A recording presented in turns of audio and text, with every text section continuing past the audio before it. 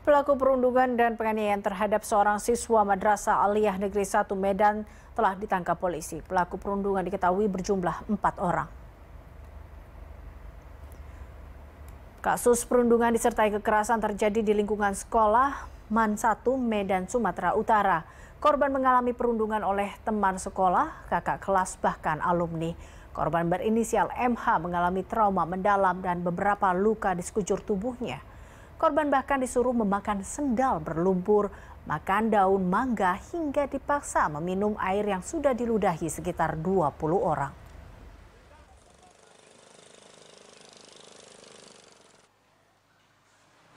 Eh, dari kejadian tersebut, kami dari Satreskrim Polrestabes Medan sudah menetapkan empat orang tersangka.